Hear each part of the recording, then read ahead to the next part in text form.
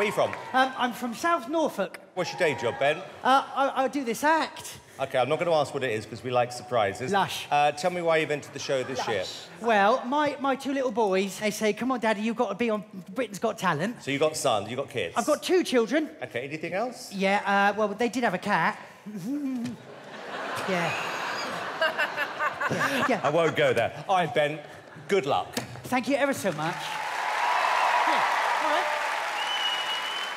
Well, you see, I think my little stint now is all about uh, me uh, mishearing lyrics in music, see? I mean, it all started when I went to see The Lion King. Anybody see The Lion King?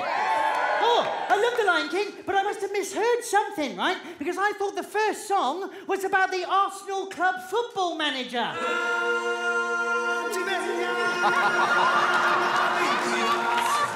That's funny.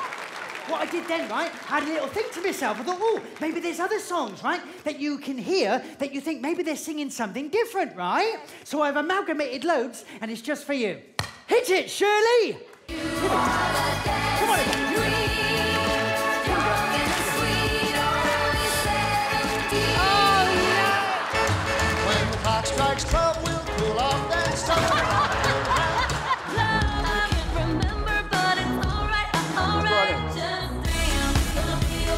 Ha ha ha!